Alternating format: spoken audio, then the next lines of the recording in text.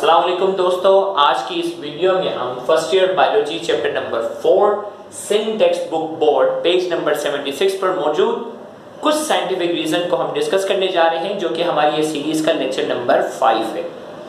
What type of cell contain more Golgi bodies and why इस सवाल में पूछा जा रहा है कि कौन से सेल होते हैं, किस टाइप के सेल होते हैं, जिसमें गोल्जी अपरेटस जिसे हम गोल्जी बॉडी भी कहते हैं, वो आम सेल के मुकाबले में ज़्यादा होता है और क्यों होता है? तो आइए सवाल की तरफ़ बढ़ते हैं। तो सबसे पहले एग्ज़ाम में हमने हेडिंग लगा दी cell which contain more Golgi bodies या मोर गोल्जी अपरेटस वो कौन से सेल हैं जिनमें गोल्जी बॉडीज जो है वो ज़्यादा है? तो सबसे पहले in animal cell single Golgi apparatus is found in each cell but in plant cell they may be more अगर जनरली अगर हम बात करते हैं एनिमल सेल और प्लांट सेल की तो एनिमल सेल के अंदर गोल्जी बॉडीज जो होती हैं, वो उमूमन एक ही होती है। जबकि प्लांट सेल की अगर हम बात करते हैं तो ये गोल्जी बॉडीज की तादाद जो होती है, वो एनिमल सेल के मुकाबले में ज़्यादा होती है कि तादाद एक से ज़्यादा। Golgi apparatus are specially prominent in glandular cell Golgi apparatus ज़्यादातर उन सेल में ज़्यादा प्रोमिनेंट होते हैं, जो सेल क्या होते हैं? ग्लैंडुलर होते हैं। ग्लैंडुलर सेल वो होते हैं जिनका काम कुछ ना कुछ सिक्रीट करना होता है। जैसे हमारा सलाइवा की अगर हम बात कर रहे हैं तो वहाँ जो है वो ग्लैंडुलर सेल है जो कि सलाइवा को सिक्रीट करते हैं।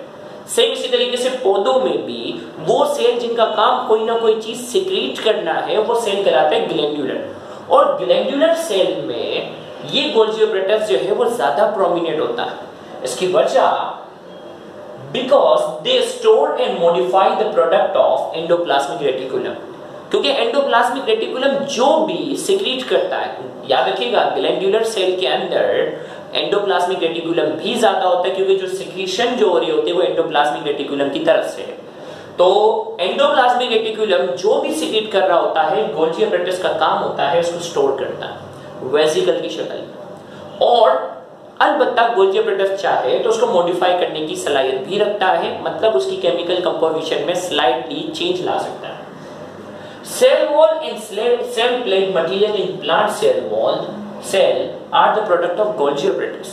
Cell wall जो है ना, जो कि सेलुलोज से बनता है, ये सेलुलोज जो कि पॉलीसेक्राइड है, ये सिक्रीट करने वाला गोल्जी अपरेटस है जैसा कि हम जानते हैं कि एनिमल सेल के पास सेल वॉल नहीं है प्लांट सेल के पास सेल वॉल है और इसकी सेल वॉल सेलुलोज की बनी भी होती है, जो कि पॉलीसेक्राइड है, उस पॉलीसेक्राइड को सिक्रीट करने वाला गोल्जी अप्रेंटिस है।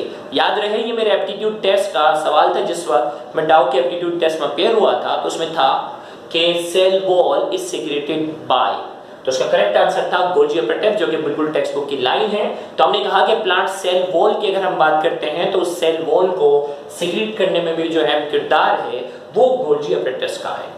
तो लिहाजा इस सवाल का जवाब ये हो गया कि कौन कौन से सेल हैं जिसमें गोल्जी अपरेटस ज़्यादा होता है? तो एनिमल सेल की कंपैरिजन में प्लांट सेल में ज़्यादा है। नॉर्मल सेल के मुकाबले में ग्लैंडुलर सेल में गोल्जी अपरेटस जो है वो ज़्यादा है।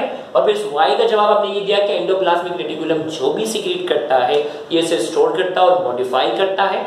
और प्लांट के अंदर जो सेल वॉल बनाने में जो अहम किरदार अदा कर रहा होता है, वो है गोल्जी अपरेटस अगर आपको हमारी ये वीडियो समझ में आई है तो आप हमारे इस चैनल को सब्सक्राइब करना मत भूलिएगा।